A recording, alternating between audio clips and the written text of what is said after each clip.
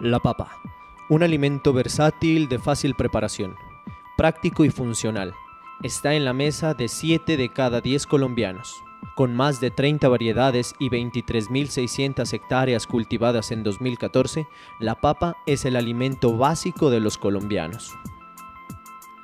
Fuera de los mitos creados alrededor de la papa, lo cierto es que está científicamente comprobado que no hay asociación entre obesidad y diabetes y la cantidad de consumo de papa blanca.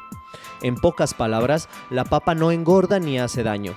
Lo importante es manejar la cantidad que se consume y tratar de combinarla con alimentos que no sean cereales o que sean fuentes de carbohidratos como la yuca y el plátano.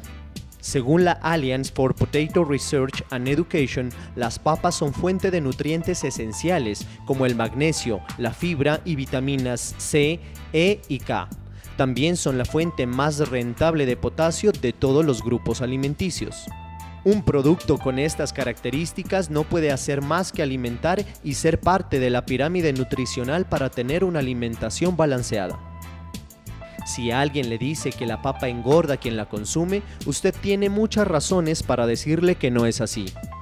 Una buena papa blanca mediana cocida con piel contiene alrededor de 110 calorías. Tiene más potasio que un plátano o el brócoli. Proporciona el 35% de la necesidad diaria de vitamina B6.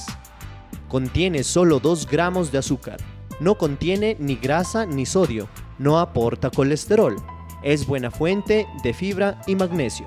Históricamente, la papa ha hecho parte de nuestra dieta a través de milenios, tanto que se cultiva en casi todos los países del mundo. Así que no existen motivos para dejar de comerla. Yo como papa, ¿y usted?